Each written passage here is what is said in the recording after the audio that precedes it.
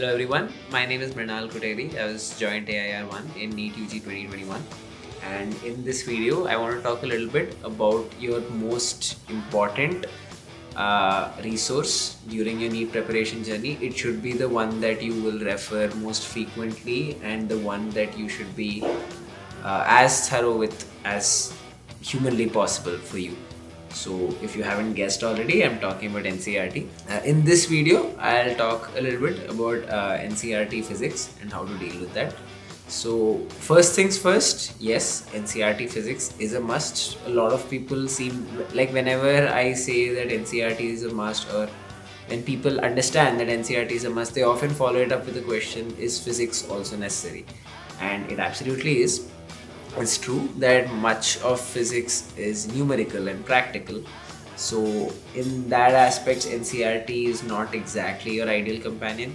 But it's those 10 15 questions which are theoretical in nature in NEET that you know can very well make the difference for you. And if you've noticed i um, i personally felt that in recent years uh, NEET is showing this trend of moving towards a slightly more theoretical paper than a practical one. So you know the the theory questions, you know, based on which statement is correct, and just based on you know hard facts, not much of calculation required there. Those become that much more important.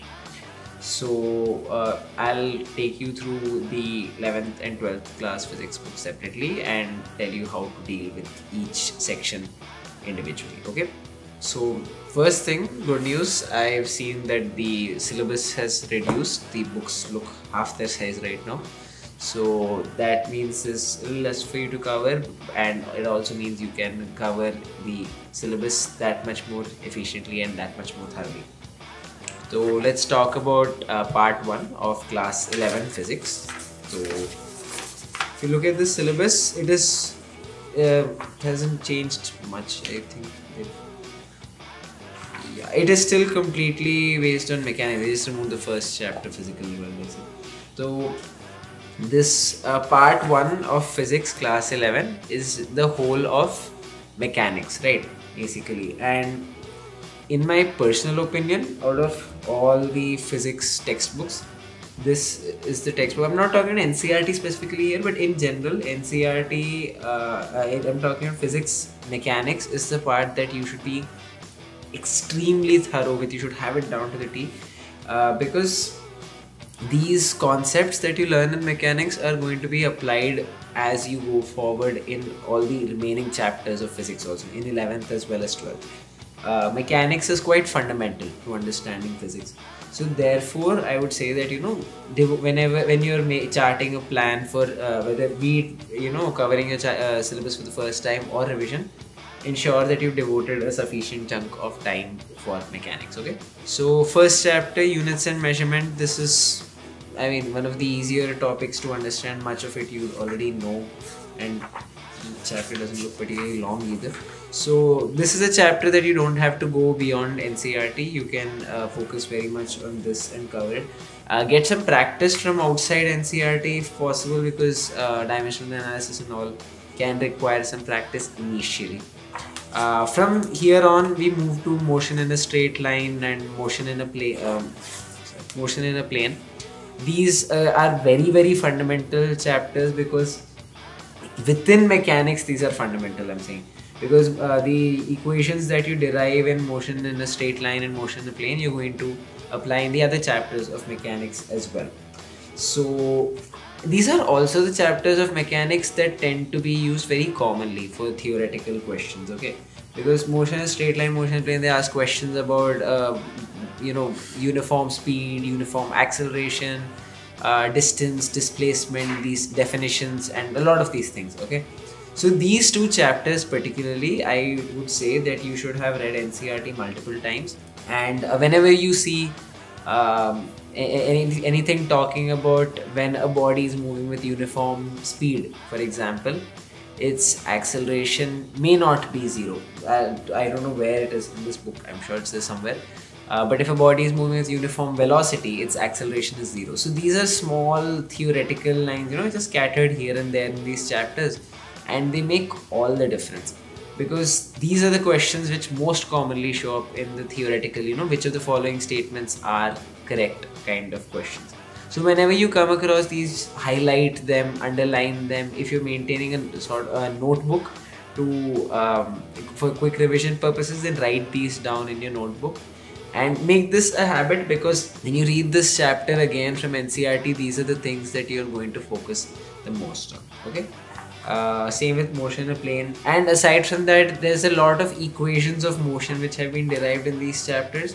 So all of those you can make quick note of it in your notebook or just highlight the um, end result of uh, the final equation. Though i would say that when you're reading ncert one good thing about ncert is a lot many of these formulae ha- are have been derived. And the thing about this is physics can get a little overwhelming at times because there's so many formulae.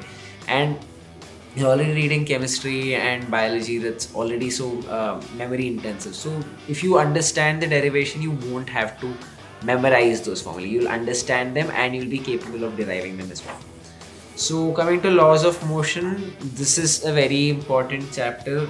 Lots of equations lots of questions. Friction is one particular topic in this that tends to have theoretical questions and sometimes circular motion as well. So this is a chapter that you should be quite thorough with. Aside, oh, laws of motion themselves also have a lot of theoretical questions based on it. So this is a chapter that you should be quite thorough with. Okay, and then moving on, work energy power, uh, work energy power, conservative, non-conservative forces, the definitions of potential energy. These are all very important.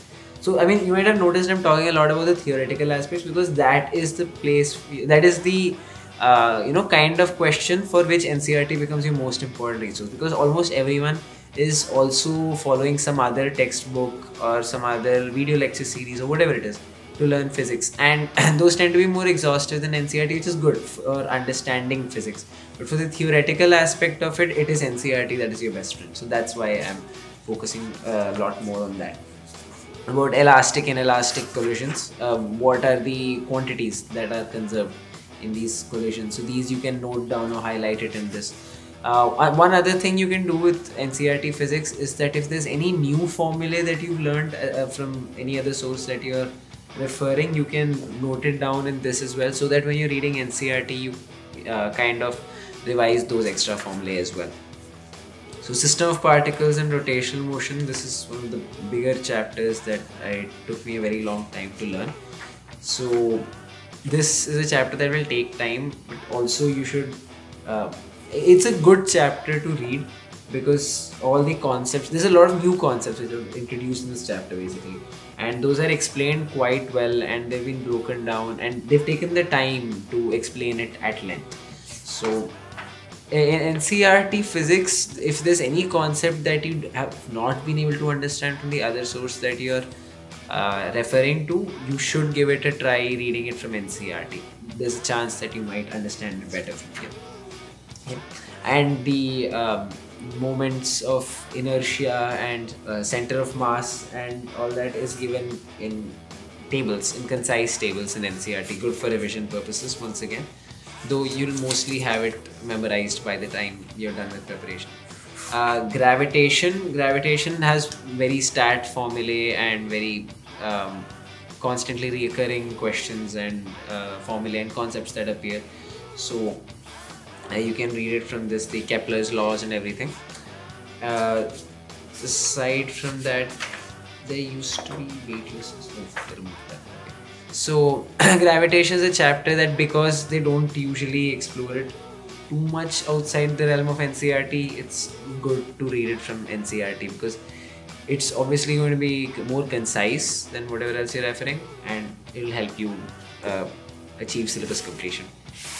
Moving on to part 2.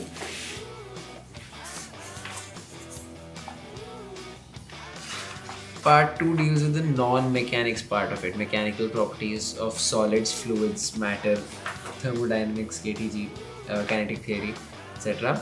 So oscillations and waves particularly i remember those were topics that used to be covered in qu uh, quite in depth uh, when i was going for coaching and i used to refer to ncert to uh, know what were the uh, formulae and concepts that i had to focus on and i had to ensure that i had it down perfectly mechanical properties of solids and fluids. They have uh, the, the because they deal with objects at rest a lot.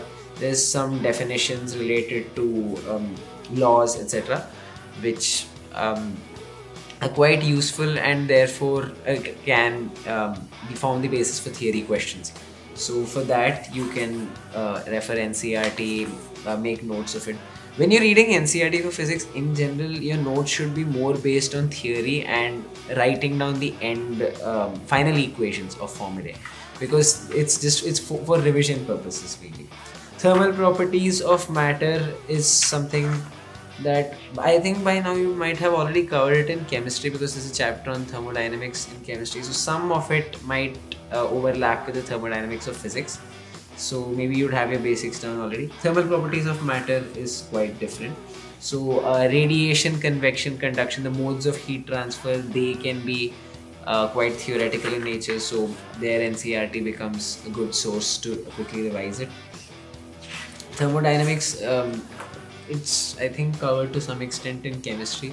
Though aside from that you can uh, the, the, few extra things that have not been covered there you can cover from this. Thermodynamics has a lot of uh, definitions for different kinds of processes. So for that ncert is quite useful. Uh, kinetic theory has a few formulae to use and all of them are given in ncert so again good for quick revision waves and oscillations. These are the two chapters that i found a little difficult. And that's why i used to keep coming back to ncert to know what was important and what i had to cover for sure. Because anything that's in ncert is by definition very important for your preparation. So coming to 12th I think part one part one mainly deals with electromagnetism so electric charges and fields, electrostatic uh, potential and capacitance, current electricity. The first two cha uh, chapters, electric charges and fields and potential and capacitance, again they have some definitions and all uh, related associated with them. So reading the chapter can be quite useful. These are relatively big chapters as I can see in NCERT, but it's worth uh, taking the time and effort to read them. Uh, current electricity again it's a chapter that uh, I personally at least had explored a lot more than is given in this but then it's useful to know what is important and to cover the theory. That's a kind of a recurring theme of reading NCERT physics if you uh, moving charges and magnetism and uh, magnetism and matter. Moving charges and magnetism is again uh, involves a lot of uh, practicals and numericals.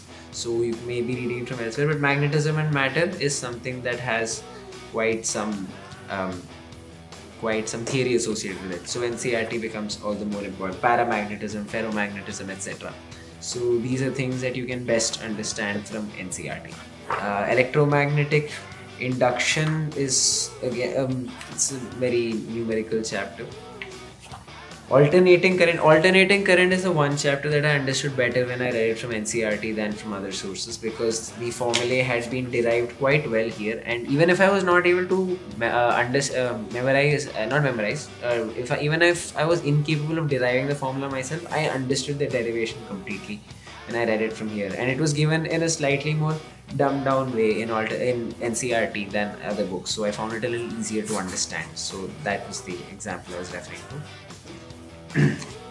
electromagnetic waves is again quite theoretical so NCERT becomes your best friend there. And coming to part 2 finally that deals with more of modern physics. So modern physics and optics yes. So ray optics wave optics.